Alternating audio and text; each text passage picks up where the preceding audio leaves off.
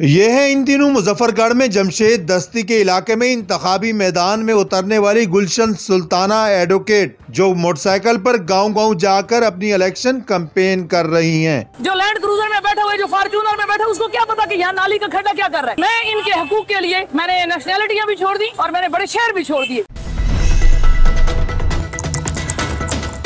अब बताइएगा ऐसी क्या ज़रूरत पेश आई की आप एकदम सियासत में आ गई? जी बिल्कुल इसलिए कि ये पाकिस्तान है ये मेरा मुल्क है। तो ये लोग मुझसे प्यार करते हैं मुझ पे मुझे बेटी कहते हैं। और मैं इनके हकूक के लिए मैंने नेशनैलिटियाँ भी छोड़ दी और मैंने बड़े शहर भी छोड़ दिए। इलेक्शन के लिए तो बड़ी बड़ी गाड़ियाँ चाहिए होती हैं बड़ा पैसा चाहिए होता है। आप तो मोटरसाइकिल पे कंपेन कर रही हैं तो क्या कर पाएँगी? जी बिल्कुल यही ट्रेंड तो खत्म करना है। गाड़ी में बैठे हुए को क्या पता कि बाहर वाले के साथ क्या हो रहा है।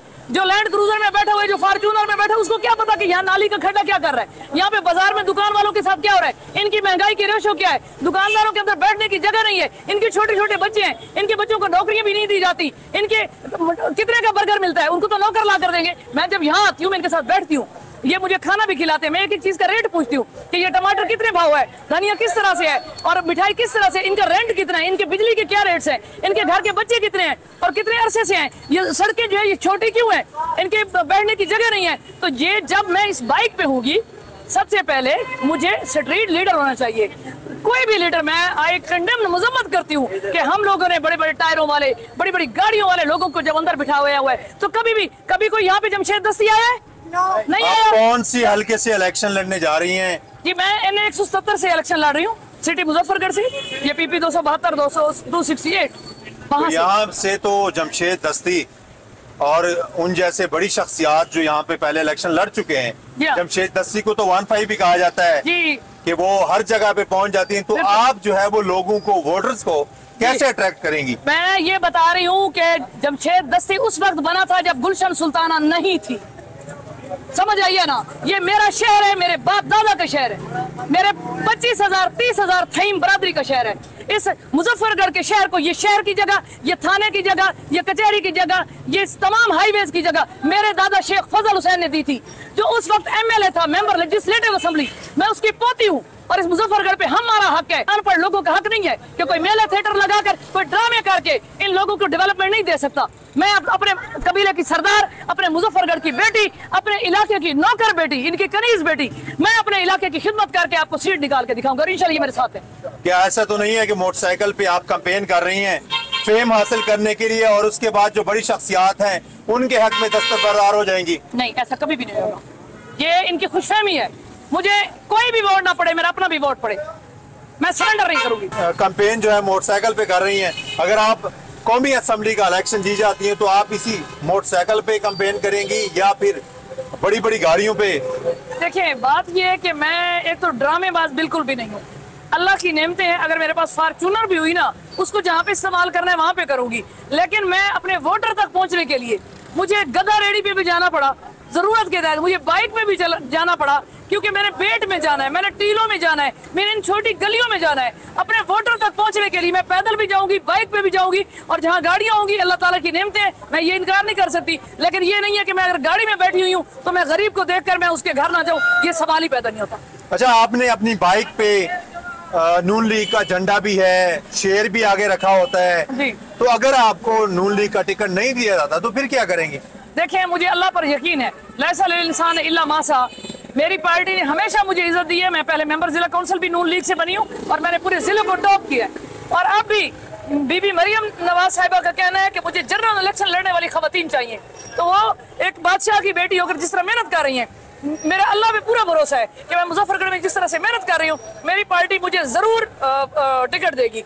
और इंशाल्लाह मैं लेकर रहूँगी। क्या मरियम नवाज़ और हमजा शहबाज आपके इलेक्शन कैंपेन के लिए यहाँ पे आएँगे? देखें जी दिल को दिल से राह होती है। मोहब्बत जो है अगर मुझे अपने लीडर से इतनी मोहब्बत है और मैं पाकिस्तान को संवारना चाह रही हूँ मैं थईम कौम का यहाँ पूरे मुजफ्फरगढ़ का वोट निकाल के उनको दूँगी तो उन्होंने क्या करना है? वो भी तो हमें इज़्ज़त देते हैं ना। ये तो नहीं है कि वो कभी नहीं जाते अगर मरियम नवाज़ एक आम औरत के घर में जा सकती है एक मरीज़ औरत के घर में जा सकती है तो मैं उसकी बहन हूँ मैं उसके लिए पार्टी के लिए लड़ रही हूँ और हम मिलकर पाकिस्तान संवार हैं। ये सवाल ही पैदा नहीं हो सकता कि बीबी मरियम अ, मेरी रहम दिल का है मेरी आइडियल खातून है कि वो मेरे पास ना आए। और मैं अल्लाह से दुआ मांगती रहती हूँ अल्लाह कब भी मरियम का दीदार नसीब हुई तो मुजफ्फरगढ़ में तो थाना कचहरी की सियासत ज़्यादा चलती है वडेरा निज़ाम यहाँ पे ज़्यादा चल रहा है। तो आप क्या करेंगी? नहीं वडेरा निज़ाम इसलिए चल रहा है कि हमने चलाया हुआ है। जब तक आप जुल्म के खिलाफ लड़ेंगे नहीं, आपने जिहाद नहीं किया, आपने छोड़ दिया दूसरे के ऊपर सारे बैठ के घर बातें करते रहेंगे तो मुल्क नहीं संवरेगा। इस मुल्क पे हर किसी का हक है। और मैं अगर देखा जाए तो मुजफ्फरगढ़ के यहाँ से सबसे जो ताकतवर लोग थे, सबसे बड़ा कबीला था, सबसे बड़े डोनर थे मेरे शेख फजल थईन मेरे बुज़ुर्ग थे तो मैं तो वैसे ही एक फ्यूडल लॉर्ड फैमिली से हूँ। ये और बात है कि हम पहले पढ़ाइयों में लगे रहे। हमें नौकरियों का हमें सीएसएस का हमें बाहर जाने का शौक था। पॉलिटिक्स हमने दूसरे गोदों के हाथ में दे दिया। तो वी हैव बीन बैक हम वापस आ चुके हैं और हम अपनी सीटें संभालेंगे। हम अपनी कुर्सियाँ गद्दा नशीनी को दोबारा संभालेंगे। क्या समझती हैं आमतौर पर जो भी सियासतदान आता है तो आमतौर पर उसका 10 से पंद्रह हज़ार जाती वोट ज़रूर होता है। तो आप क्या समझती हैं कि आपका इतना जाती वोट कितना है और कितनी लीड से आप जीत पाएँगे? मैं आपको बताऊँ 2016 के बल्दियाती इलेक्शन में मैंने 10 यूनियन काउंसिल्स के वोट लिए, तकरीबन डेढ़ लाख वोट। लेकिन मैंने उसमें जो कमी महसूस की वो ये की कि हम जब आते ही नहीं है फ़ील्ड में, जब हम लोगों में आके इलेक्शन में हिस्सा ही नहीं लेते तो लोग कैसे काम हमारे करें? यानी अगर मैं आप इंतज़ार में बैठी रहती, मेरे पास बड़ी गाड़ियों मैं जी ये करूँगी, वो करूँगी, नहीं, वोटर तक पहुँचना ज़रूरी था। ये मैंने बाइक लिए, यकीन करें कि मैं बेनजीर वाले खवतीन के कार्ड बनवा रही हूँ, उनसे भी मैं वादा ले रही हूँ। मैं दुकानों वालों के पास इनसे तो वोट माँगता ही कोई नहीं था। तो इतना मैं पच्चीस तीस हज़ार अपना वोट इंशाल्लाह जाती की खड़ी हूँ। और पार्टी अगर सपोर्ट कर दे तो सात सत्तर हज़ार रुपये एमएनए निकल जाना है। तो इनशाला अगर वोट ले, इलेक्शन लेट हो जाते हैं तो मेरे लिए बड़ा अच्छा होगा। क्योंकि मैं डोर टू डोर जा रही हूँ मोहल्ले मोहल्ले जा रही हूँ तो वोटर तक जैसे मैं पहुँच जाऊँगी तो इंशाल्लाह। कंपेन कर रही है तो क्या हार्डल फील होती है आपको? मुझे हर्डल्स बिल्कुल फील नहीं हुई। मुझे इतनी इज़्ज़त मिली है, मुझे इतने लोगों ने प्यार दिया है। मेरे इलाके के जिन लोगों को लोग कहता है कि ये लोग दकियानूस हैं, नहीं, उन्होंने कहा कि हमारी बेटी है, उसका पहुँचना। इतने कदरदान लोग हैं मेरे मुजफ्फरगढ़ के, इतने इज़्ज़त करने वाले लोग हैं कि मैं सोच भी नहीं सकती। मैं पहले डरी थी। मुझे बड़ा खौफ आ रहा था, ये कहें कि ये एडवांस है औरत है मोटरसाइकिल मेरे वकला भाइयों ने मुझे इतने हार पहना है पहले दिन मेरे भाई, मेरे खामद, मेरी फैमिली सबने मुझे अप्रिशिएट किया। और जब ये देखा कि इसका ड्रीम इतना बड़ा है, जब ये पॉलिटिक्स में जाती है, मैं औरतों के घर में चली जाती हूँ, उनकी मौत फौत पे, उनकी खुशी गम में, गलियों में, नालियों में, फिर मैं बाज़ार में जो औरतें जा रही होती हैं, कोर्ट में जा रही, उनको साथ उठा लेती हूँ। ऐसे भी मैं कायदियन हूँ और अरशद शरीफ की क्लास फेलो हूँ तो मेरे अंदर ये करेज है कि मैं अपने मुल्क के लिए जज्बा है, मैं काम कर सकती हूँ।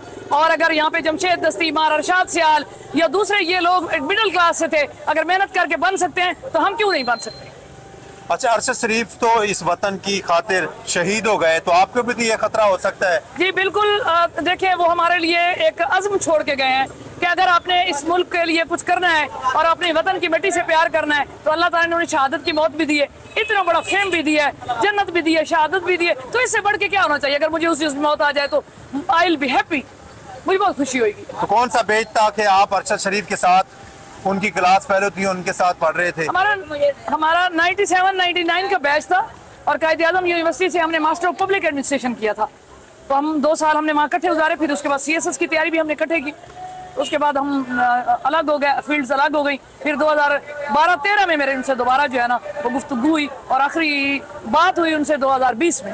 हमारे साथ हल्के की आवाम मौजूद है उनसे हम बात करते हैं क्या कहेंगे खाला क्यों सपोर्ट किया जा रहा है इनको खाला दी सपोर्ट करते हैं नालियाँ बनवाएँ गलियाँ बनवाएँ मकान बचाएँ इस मुसाफिर खाना बनाए गरीबों को सपोर्ट करें दिए साथ दें दिए हर मोड़ तो साथ दें दिए गरीबों को सियासतदानों के पास तो बड़ी बड़ी गाड़ियाँ होती है। पैसे होते हैं यहाँ पे जो हल्का है जमशेद खान दस्ती का जी, और जी, जी। दूसरे जो बड़ी शख्सियात हैं उनका ये तो मोटरसाइकिल पे कंपेन कर रही हैं। कोई मसला नहीं मोटरसाइकिल दे पर पंचायत मुके दिए इत्था कर हिंदे देरे तो मुकदे पर पंचायत मुकदे गरीब ना दरवाजे आ खड़के अस दें दिए साथ आ दें दिए गरीबे को। नहीं वास हेल्प करें पे असा बहुत अच्छी है नहीं चंगाया देखते साथ दें पे बेटा।